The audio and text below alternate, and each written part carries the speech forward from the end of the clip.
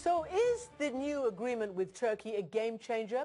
It's clear that Turkey and the United States are still at odds about how far to take this fight, as Brett McGurk, the U.S. Deputy Special Envoy in the fight against ISIS, told me from the State Department today. Brett McGurk, welcome back to the program. Thanks for having me. The United States has wanted Turkey to allow you to use in Incirlik to really get into the fight for a long time.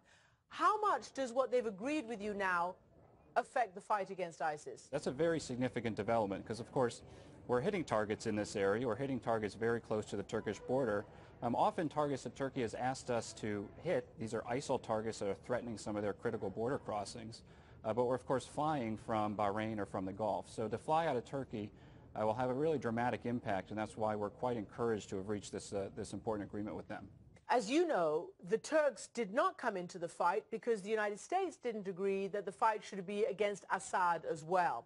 Tonight, the Turkish Prime Minister has told me that they fully are on board with the United States and you all agree that there should be a fight against Assad as well. Are you on board with that? Well, Christiane, I think our position has been very clear that we're all working towards a political transition process in Syria, that there is no military uh, solution to the Syria conflict. I think that is something that we share. Military operations uh, will be against ISIL. That is something that we very much have agreed with Turkey about. We've discussed this in quite uh, quite depth with them. You've got this area now which is being described as a safe area. I realize that that's not a technical term. I realize the United States is not calling it a no-fly zone.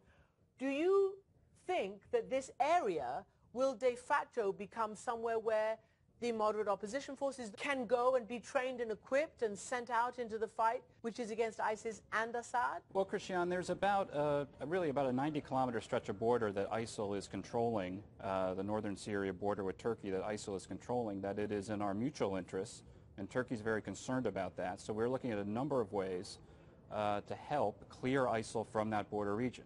Of course, uh, flying missions out of Turkey will help and because we'll be able to strike those targets with great effect. Um, but how we coordinate with the moderate opposition groups on the ground and how we do that, how we maneuver, is something that we still have to work out with Turkey, but we're going to be sitting down with them in the very near future, uh, and we'll try to work out those details. As you know, the Turkish military is also attacking various Kurdish groups. Uh, what is your reaction to that as the United States government, but also these have been the people, the boots on the ground, that have done some of the biggest fighting against ISIS. Well, I think it's very important to step back and kind of look at what happened. We actually reached the agreement uh, with Turkey about you know 10 days or so ago.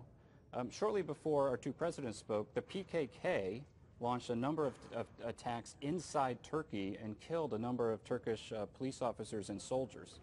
Uh, the PKK from northern Iraq took credit for those attacks. They promised more attacks. And when such a thing happens, um, our ally Turkey um, has a right to respond. But we've also, uh, Christiane, we've called for de-escalation uh, from both uh, the Turkish government and the PKK. Uh, but most importantly, the PKK has to stop uh, these types of attacks in inside Turkish territory, which are totally unacceptable and which really distract from the common fight against uh, ISIL. And finally, the Prime Minister also said to me that had there been some kind of safe area in northern Syria, then ISIS would not have been able to flourish. It was the atrocities of the Assad regime that created a vacuum that allowed ISIS. That's what he said to me. Do you agree with that, that you're a little bit late? No, Christiane, I think uh, the historians will sort out this period and what may have led to uh, from A to B to C. Um, what is really important is where we are right now. Uh, Turkey has declared that uh, they want to fight ISIL and get ISIL off of their border, and uh, we are very much going to help them. Uh, they have opened up their bases to our aircraft. Uh, we are working now through our DoD channels to begin that process. You might remember, Christian, uh, not long ago really, about seven months ago or so, uh, ISIL was about to take the city of Kobani. And had they taken Kobani, the entire northern border of Syria uh, would have been controlled by ISIL. We made a decision, President Obama made a decision to try to help the Syrian Kurds in Kobani fight back, where we agreed to open up uh, a, a, corridor for Kurdish Peshmerga to bring heavy weapons into Kobani. And you know the history now, uh, you can see what has happened. The Syrian Kurds not only held Kobani, they defeated ISIL uh, quite massively there. So I can't really, it's hard to overemphasize how complicated this is, um, but you know we're all partners here. We're all in constant communication. And we'll be, uh, we look forward to really continuing these very good discussions we've had with the Turks over recent weeks, and those will continue over the coming days. Brett McGurk, thank you very much for joining me from the State Department. Thank you, Christian. Thanks so much.